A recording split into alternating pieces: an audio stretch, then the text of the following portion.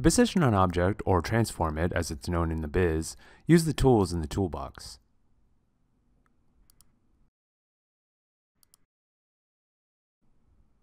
However, no amount of transforming is going to change my sphere's shape. How do I make it look like this?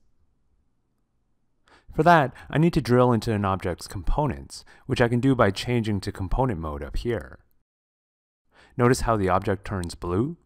Now I can use the same toolbox tools to transform individual components, thus changing the sphere's shape.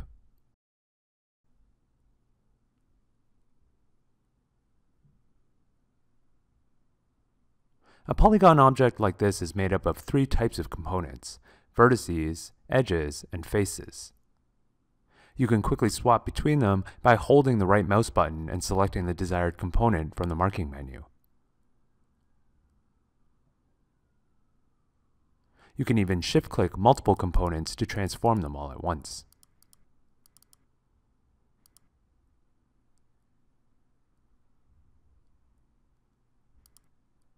or marquee select them by dragging the mouse.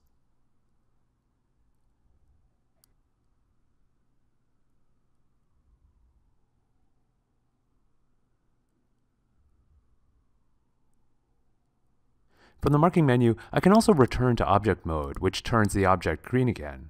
This lets me go back to transforming it as a whole. Then I can go back to a component mode when I want to change its shape again.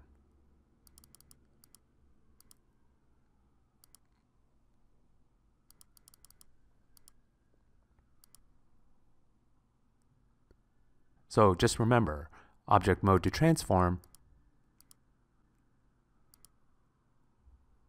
and component mode to change shape. Now that you've got the basics down, I think it's time to build your first model.